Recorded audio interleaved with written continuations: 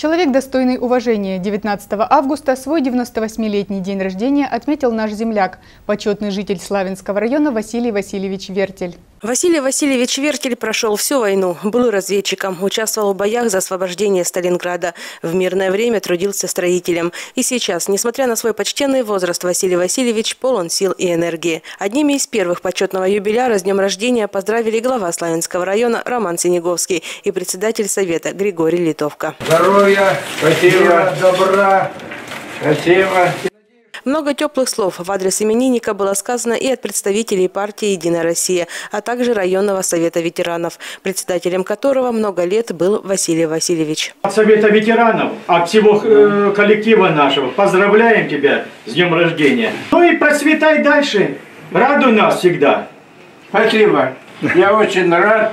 В этот день было еще много поздравлений. Не успевали уходить одни гости, как приходили другие. Впрочем, это и не удивительно. Василий Васильевич Вертель – человек по праву, завоевавший почет и уважение своих земляков.